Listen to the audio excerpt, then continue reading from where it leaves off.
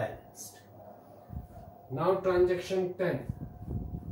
The transaction says purchase goods from F of list price rupees 80,000 at a trade discount of 10%. Paid F immediately rupees 35,000 in cash and rupees 20,000 35,000 by check 35,000 by check and rupees 20,000 in cash and avail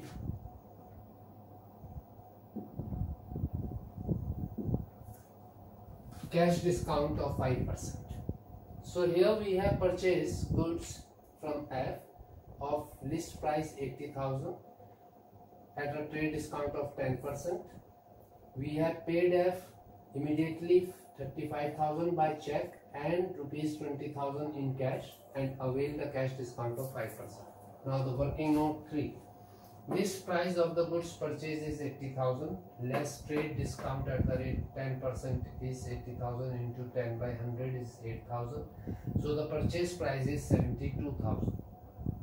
From this 72,000 we will subtract cash discount because out of a purchase of 72,000 we are paying him 55,000 a big amount has been paid.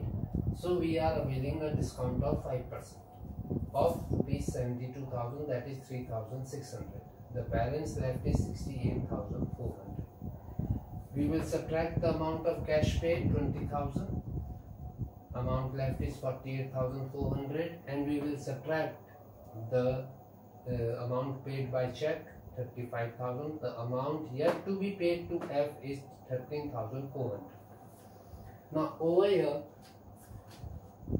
the here this is 10 the purchase price of the goods is 72,000 we have purchased goods of rupees 72,000 it will be added to our stock. We have paid 20,000 in cash 20,000 will be subtracted. We have paid a check of rupees 35,000 our bank balance will reduce by rupees 35,000 bank balance is also an asset. So it will be subtracted.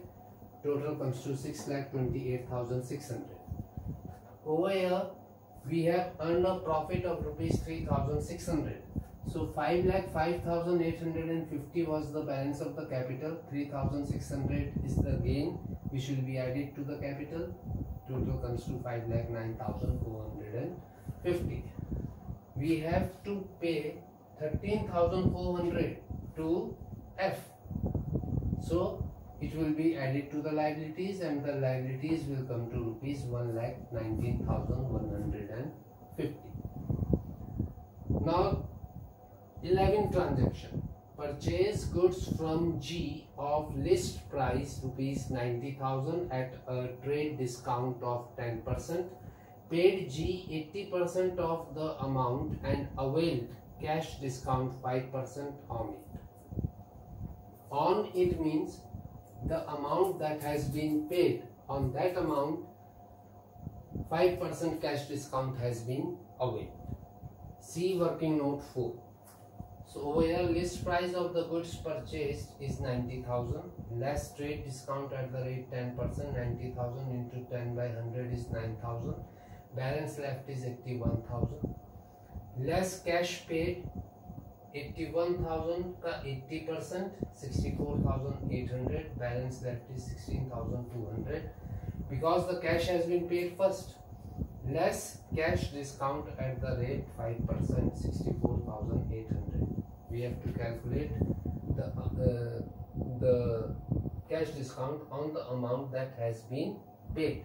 So 64,800 was paid 64,800 ka 5% that comes to 3,240 so the 12,960 is yet to be paid to G. Over here the total purchase was of 81,000 and the amount paid was 64,800 81,000 will be added and 64,800 will be subtracted. We have a cash discount of 3240 which is the gain added to the capital. So 5 lakh 9450 plus 3240 it comes to 5 lakh 12690 yet 12960 is to be paid so our liabilities will increase 1 lakh 19150 plus 12960 total comes to 1 lakh 32110 again our accounting equation is balanced. So these from third to 11th these are the transactions related to purchase of goods now the transactions related to purchase of assets. Purchase furniture for rupees 1 lakh. Furniture is coming and asset is increasing. 1, 1 lakh will be added to the assets. And we have paid the money. 1 lakh will be subtracted from the assets. No effect on capital no effect on liability. Balance is same and the equation is also balanced now 13th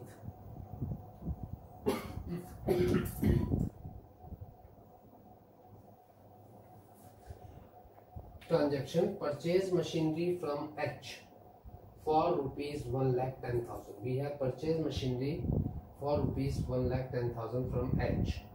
Paid him rupees 60,000 by check and rupees 30,000 in cash on account. On account means the balance will be paid later on after a month, a year, whatever it is.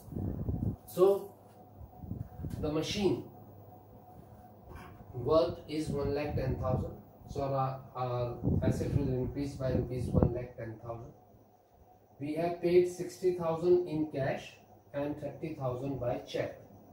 60,000 and 30,000 both will be subtracted we will show them separately because cash and bank both are two different assets. No effect on capital and 20,000 which is yet to be paid 1 lakh 10,000 plus uh, minus 90,000 20,000 is yet to be paid will be added to the liabilities.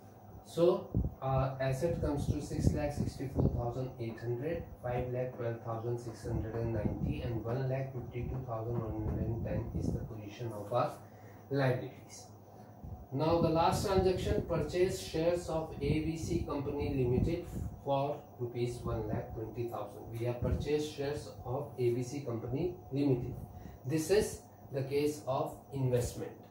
Whenever we are purchasing securities, it is our investments.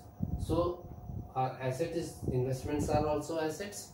Therefore, our asset is increasing by rupees 1 lakh 20,000 and on the other hand, we have paid the money so 1 lakh 20,000 will be subtracted from assets.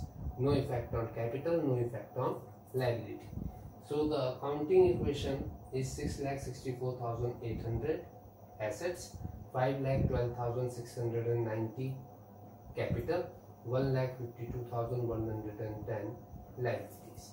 So again the same position is there. Say your page ends. Now tomorrow we will start with a new page and this will be the balance that we will take into consideration as the opening balance